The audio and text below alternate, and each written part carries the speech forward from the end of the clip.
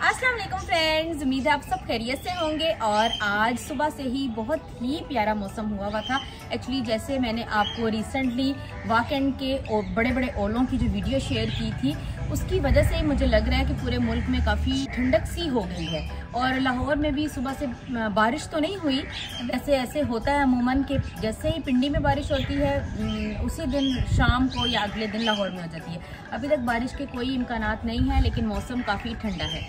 इसीलिए मैंने आज सुबह से ही गार्डनिंग की है। काफ़ी जो डेड प्लांट्स थे, क्योंकि आगे अब खिजां का मौसम आ रहा है तो सारे पत्ते झड़ रहे हैं, वो सारे निकाले, अपना गार्डन कुछ साफ़ किया सारा, और कुछ जो न्यू बेबीज़ निकले थे, वो न्यू पॉट्स में लगाए, कुछ रखे अपने फ्रेंड्स को गिफ्ट करने के लिए, और जिनकी कटिंग्स लगती थी, उनकी मैंने कटिंग भी काटी, ताकि वो मैं अपनी फ्रेंड्स को दे सकूँ। और फिर मैंने सोचा कि क्यों ना अब आगे सर्दी आ रही है, काफ़ी प्लांट्स मुरझा जाएँगे डल हो जाएँगे।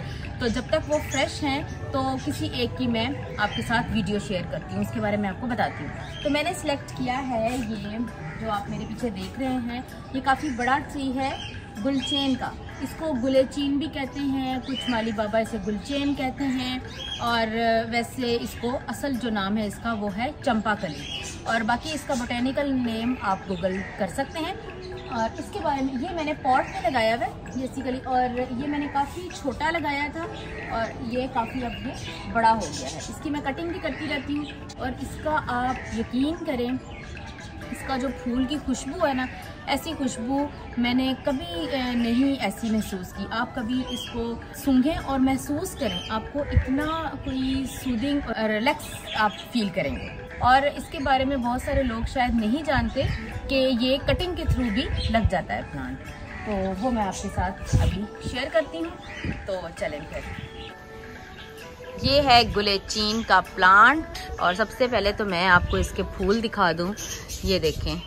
इसके ये फूल हैं और इसकी कई वैरायटीज़ होती हैं। पिंक कलर के फूल भी होते हैं और ऑरेंज कलर के भी और छोटे भी और बड़े भी। इसकी काफ़ी वैरायटीज़ हैं गुलेचीन की। मेरे पास इस वक्त ये दो वैरायटीज़ ही हैं और कुछ के पत्तों से भी आप डिफ्रेंशिएट कर सकते हैं। कुछ के पत्ते जो हैं, वो आगे से बिल्कुल राउंड होते हैं। कुछ के यूँ जैसे मेरे पास हैं, ये बिल्कुल बनानास की तरह नोकीले होते हैं। और इसके कुछ के फूल जो हैं, वो काफ़ी बड़े फूल होते हैं, यानी काफ़ी इतने बड़े। जैसे ये तो इतना सा ही है और इतना ही रहता है ये। कुछ इतने बड़े भी फूल होते हैं, कुछ पिंक कलर के होते हैं, वो भी बड़े भी होते हैं और छोटे भी होते हैं। और इसमें यह है कि सर्दियों में इसकी फ्लारिंग ज़्यादा होती है। बहुत ज़्यादा गर्मी में इसकी फ्लारिंग इतनी ज़्यादा नहीं होती, लेकिन बाहर के मौसम में और बरसात में इसकी फूल बहुत ज़्यादा आते हैं। और ये मैंने कोई हंड्रेड रुपी का छोटा सा प्लांट लिया था और ये बड़े पॉट में लगाया हुआ है। ये आगे जो है काफ़ी ज़्यादा फैली हुई है स्वीट पोटैटो वाइन ये बड़ा पॉट है, इसमें लगा हुआ है और इसकी आप हाइट देख लें कि इतना ये बड़ा हो गया। और खैर, मैंने इसको ऊपर से काटा भी है और इसके अंदर वही मैंने आम मट्टी यूज़ की है रेत, भालू मिट्टी रेत आप ना भी यूज़ करें। और भालू मिट्टी है, जो कि एक तोड़ा मिलता है मतलब एक पूरा बोरा मिलता है नर्सरी से वो, और उसके अंदर थोड़ी सी गोबर खाद और बस। कभी कभी मैं इसके अंदर डीएपी डाल देती हूँ छः महीने बाद, और अगर इसके पत्ते यूँ ब्राउन होने लगें इस तरह से, जैसे ये हों। जो भी इसके डेड प्लांट्स हैं या पीले हो जाए डेड लीव्स हैं सॉरी तो आप वो निकाल दें। वक्त, जैसे डेली बेसिस पे आप देखें कि अगर पीले हो रहे हैं तो इसका मतलब ये है कि इसको पानी ज़्यादा मिल रहा है। तो आप पानी थोड़ा कम दें और अगर इनके यहाँ से बहुत ज़्यादा ब्राउन हो रहे हैं पत्ते जो कि नहीं होते तो फिर इसका मतलब है कि पानी की कमी है। तो आप पानी इसको ज़्यादा दें और कभी कभी ऐसा होता है, ये देखें, पत्ते थोड़े कटे कटे होते हैं। आपको फील होता है कि इसके ऊपर कोई कीड़े का हमला है। तो जो मैंने आपको पहले भी लेमडा स्प्रे बताई हुई है, आप वो लेमडा स्प्रे लाएँ और आप इसको कर सकते हैं। एक महीने बाद इसकी वजह से सारे प्लांट्स पे ही आप एक दफ़ा लेमडा स्प्रे कर दिया करें। और इसकी जो मोस्ट इंपॉर्टेंट बात है, वो ये कि ये बहुत आसानी से कटिंग से लग जाता है। और इसके कई आप प्लांट्स बना सकते हैं लाइक जैसे ये है, इसको आप कहाँ से कटिंग करें ये एक इसका अलग से निकला है, ये आप फुल यहाँ से तोड़ लें, यानी इधर से तोड़ें आप, ठीक है?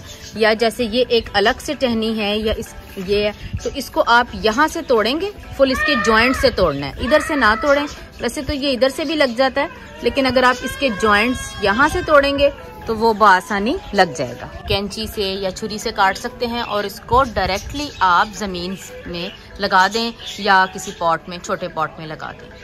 और मैंने ये देखें, ये लगाया भी है। किसी फ्रेंड के घर था, वो पिंक कलर का गुले चेन था, और चंपा कली ये देख सकते हैं आप इसके अंदर फ़र्क के ये वाला लंबे पत्ते हैं इसके। और इसके ये राउंड पत्ते हैं। इसके ऊपर जो फूल लगेंगे वो पिंक कलर के थे तो उसने मुझे इसी तरह छोटी सी शाख दी और ये मैंने लगा ली और ये लग गया। पहले इसके सारे पत्ते झड़ जाते हैं मैं आपको दिखाती हूँ जो मैंने दूसरा लगाया हुआ है। फिर इसके नए पत्ते निकलते हैं तो इसका मतलब है कि ये चल पड़ा है। ये मैंने किसी फ्रेंड के लिए लगाया है, एक शाख तोड़ी उसकी और लगाया और इसके थोड़े दो दिन के अंदर इसके पत्ते यूँ झड़ गए। अब ये नए पत्ते इसके निकलेंगे तो फिर मैं आपको बाद में इसकी अपडेट्स दूँगी। और ये देखें, ये स्नेल्स कितने ज़्यादा प्लांट को खाते हैं। तो ये स्नेल आपको नज़र आए, आप ये निकाल दें। और इसको आप हर महीने गोडी भी करें, पंद्रह दिन बाद करें। सर्दियों में यह है कि एक महीने बाद कर दें, गर्मियों में इसकी आप पंद्रह दिन बाद कर दें। और खाद की इसको गर्मियों में कम ज़रूरत होती है, सर्दियों में आप मंथली बेसिस पे या दो महीने बाद आप इसको गोबर खाद डाल सकते हैं। वैसे मैंने इसमें अभी तक दो दफ़ा ही डाली है, दो या तीन दफ़ा, क्योंकि मैंने इसके अंदर मट्टी ही, वो भालू मट्टी और गोबर खाद को मिक्स करके डाली थी। हाँ इसके ऊपर मैं स्प्रे कर देती हूँ महीने बाद या पंद्रह दिन बाद। वो डिपेंड करता है कि अगर इसके पत्ते टेढ़े हो रहे हैं तो मैं जल्दी स्प्रे भी कर देती हूँ। और इसके ऊपर आप शाम को शावरिंग करें पानी की, और ये फिर प्यारा भी लगता है और पत्ते भी साफ़ सुथरे रहते हैं। और इसको आप ज़मीन में भी लगा सकते हैं। ज़मीन में ये है कि ये काफ़ी हाइट पकड़ लेता है और दरख्त बन जाता है। मैंने इसको पॉट में ही रखा है और इसके फूलों को आप पानी में रखें साइड टेबल पे रखें। बहुत ही खुशबूदार होते हैं।